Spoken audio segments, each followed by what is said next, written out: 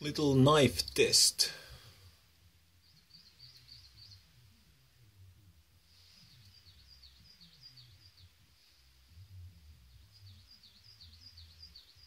This is looking more and more like this kind of kitchen knife. I really don't like the handle at. But actually it's quite comfortable. And carbonized. Even it's quite sort of boxy.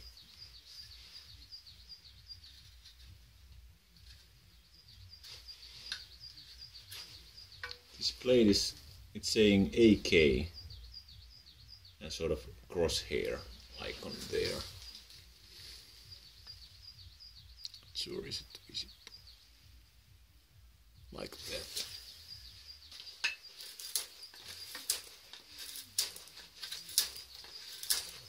But somehow the handle just is strange.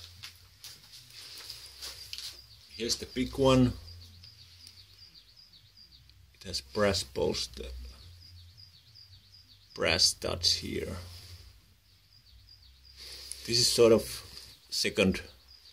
At the beginning of the century, this used to be like Finnish style. This has no belt loop yet.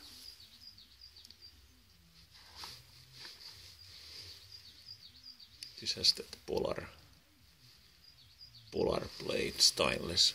It sort of stains the the leather and oil stains the blade all, all, always because there's no like sheet protection here. It has three layers of leather so the stitching should be okay and this studs also prevent the blade from going through there or there or there. So it makes it sort of more safe.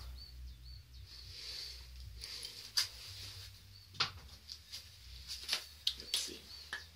Actually I like this blade a lot more than that Leuku Leuku blade. This is sort of carves better even it's a little bit harder on the wrist than this kind of this kind of blade. Because it's smaller it doesn't bend your so much force to your wrist. It's this this sort of easier. Bend your wrist like this. It's quite useful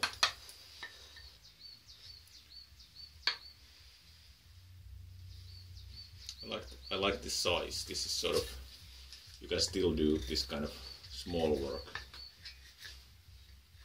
It's, it's not so overly big that you have to be careful of the tip.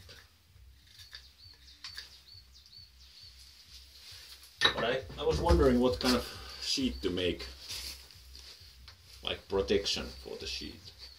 Actually you can carry it like this